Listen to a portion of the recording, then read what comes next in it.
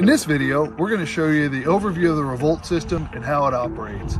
It's got a few key components to think about. One is the solar panels that generate power. Number two is a RaVolt unit under there that has the power system that powers the home as well as the batteries that store the energy. And the third is the utility grid, which in this case is our backup system. But in our off-grid systems, the utility grid isn't there at all. We use a generator there for backup. So we'll show you though this grid back system first. Solar panels generate most of the energy used in this 6,000 square foot home. They can be on the ground or on the roof. We use the highest quality utility grade solar panels made in the USA. This is the optional seasonal adjust tilt system that improves energy generation all year round, or you can use a fixed tilt system that never needs to be adjusted. The patented enclosure provides a unique ability to provide whole home power with batteries and all the power electronics located safely outside the home. It comes pre-assembled and can be installed in less than a day.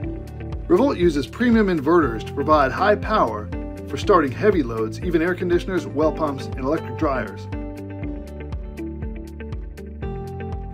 The unit even has a 50 amp RV panel to provide temporary power outside the home and is often used during home construction or renovations.